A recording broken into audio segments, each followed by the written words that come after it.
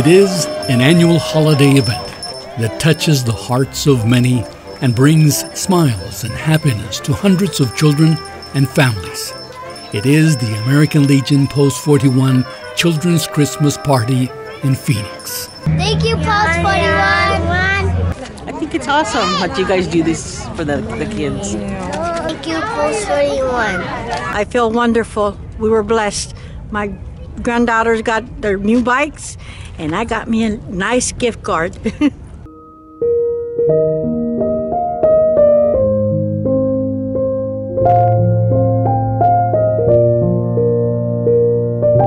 Good morning. And welcome. Welcome to the American Legion Post 41 Christmas party. Is everybody excited? ¿Están contentos todos? Eso. Thank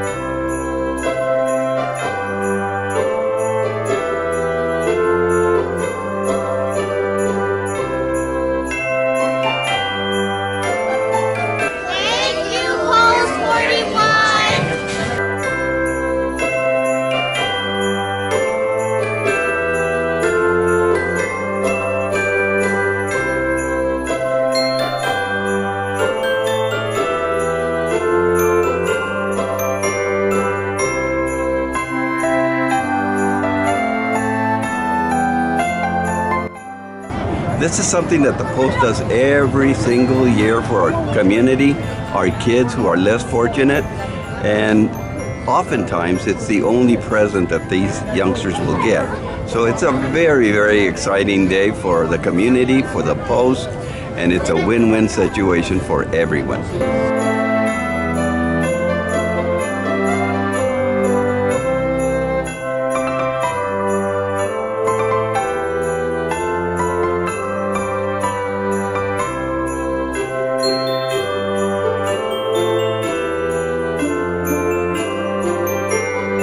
Oh, the to help the community. community. kids to see their smiles on their faces. Yes, it's every year. It's the same thing. It's awesome when you see the little kids smile. They get their gift. Awesome, I, awesome. I enjoy helping. It's for the kids. And I, do too. I like to help with the kids. It's for a good cause.